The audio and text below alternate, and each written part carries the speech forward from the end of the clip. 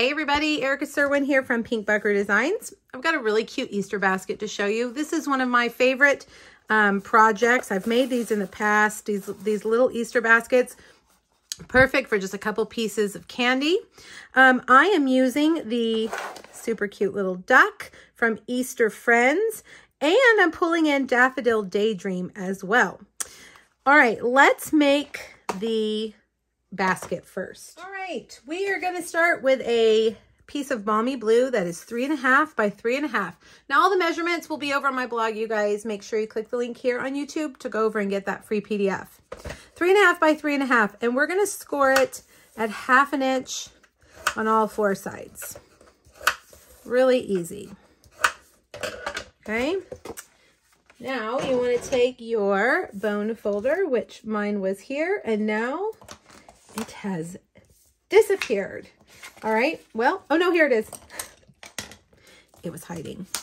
There we go. A bone folder really just helps you get those lines nice and crisp. All right, now take your scissors and cut the score lines on two sides. Whatever two sides, it doesn't matter. Just make sure they're across from each other. All right. Now, you want to take your adhesive of choice. I'm going to use Tombow. And my Tombow is a mess. And we're going to put, I think we'll put the glue right here. A little dab will do ya. And then you want to fold this in like that. All right. And we'll hold those. Um, normally, I like to give this some time to dry with little clothespins. You can take your clothespins, which I have right here, and just let it sit for, you know, a minute to really set that glue. So we'll do that for a second. These look good already. I am using some of our um, peach, I forgot, Sweet as a Peach designer series paper. It's retiring. If you love it, make sure you get it before it's gone. Um, I'm going to take my tear and tape, which is hiding over here. And everything is hiding today from me. All right. I'm going to take and run tear and tape along one long end. And on one short end. All right. Now we're going to take off this from the bottom. Peel that off. And I think we'll go ahead and do this one too. This is going to be, you want to start on the opposite end because this is going to be the last part that goes around. Okay, so there's the sticky side. Now I'm going to take that and I'm going to start in the middle right here of one of the sides. And I'm just going to slowly wrap it around, adhering to the, the DSP to the edges of the box. Okay. And then when we get over here, that's the sticky side. So we'll press all of that in. All right, there's the base of your box. Now I have three pieces of cardstock that are half an inch wide. And I'm going to put tear and tape on two of them. You could also use Stampin' Seal, Stampin' Seal Plus. I think either will work because this is just going to be the border. But I find that tear and tape is just easy, especially when it's something this width. All right, I'm going to start over here where I started originally, so the seams will all be in the same place. And I'm going to go around the edge of my basket. All the way around and finish right there. And then this one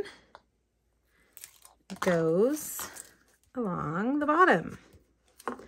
Okay, again, start in the same place so that your all your seams will be pretty much in the same spot.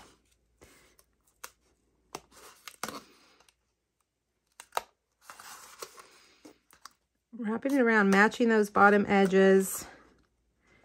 And there we go. Okay, now this last piece is the handle. So I'm just gonna put a little bit of tear and tape here and a little bit of tear and tape there.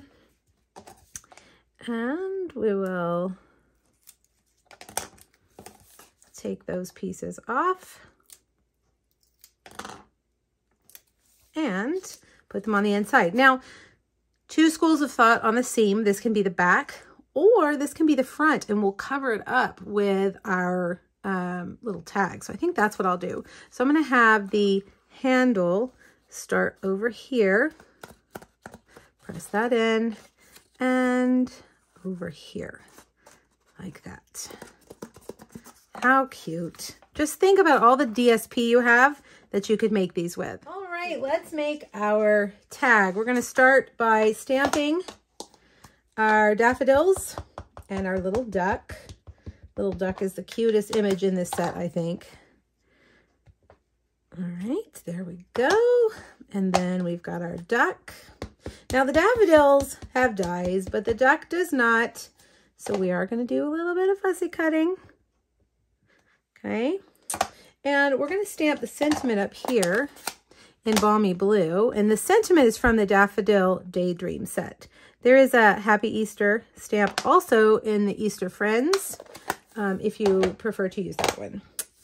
All right, now I am using yellow Stampin' Blends. Every time I use a yellow, I like to heat set my images. I just find sometimes that the yellow picks up the, the um, black and makes it a little muddy. So if you heat set it, it will not do that. It's the only color that I that I have that problem with. All right, I'm going to start with um, Daffodil Delight Light. And I'm just going to give all of my daffodils a little coat of light. All right, I'm going to leave the tips white, the tips of the petals white, so that they look a little bit lighter. I have several projects using the Daffodil uh, Daydream bundle. If you'd like to see them, you can find them on my blog or, of course, on YouTube. All right, I'm going to add some dark here. Wherever things would kind of be overlapping or there would be a shadow is where you want to add your dark. The artist has kind of give us, given us a little hint with those lines in the petals. Okay. Now I'm going to take my Granny Apple Green Light and color all of these.